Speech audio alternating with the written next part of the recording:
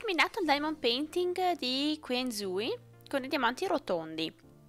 Come prima cosa devo dire che le dimensioni sono effettivamente di 10 cm più piccole rispetto a quelle che pensavo di aver acquistato.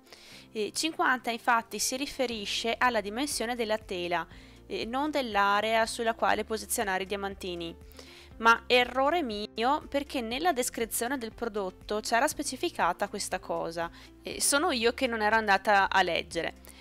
Comunque, a parte questo inconveniente, eh, sono proprio soddisfatta riguardo alla lavorabilità del DP.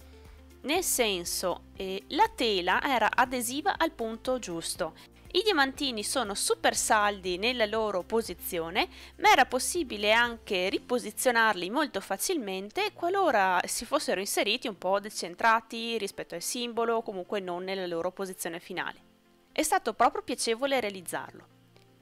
Riguardo al risultato finale dello sfondo del DP, che raffigura un muro con dei mattoncini bianchi, Ecco, questo non mi entusiasma perché non si capisce bene che cosa raffigura. Eh, cioè, l'immagine che hanno mandato in stampa, secondo me, era più luminosa rispetto a quella presente nella pagina del prodotto. A causa di questo, i contorni dei mattoni si sono fatti meno contrastati e quindi sono poco visibili. Lo stesso problema l'ho anche riscontrato con le perle. Per quanto riguarda i soffioni, invece, i colori sono perfetti, mixati al punto giusto, eh, stesso discorso anche per le farfalle e i fili d'erba.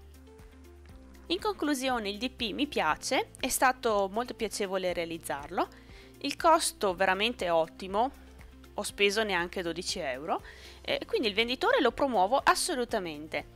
Vi do anche un consiglio, andate a dare un occhio al suo store perché ha tanti prodotti interessanti, eh, come ad esempio i full misti tra special e rotondi e prezzi veramente bassi. Vi metto il link in descrizione del video.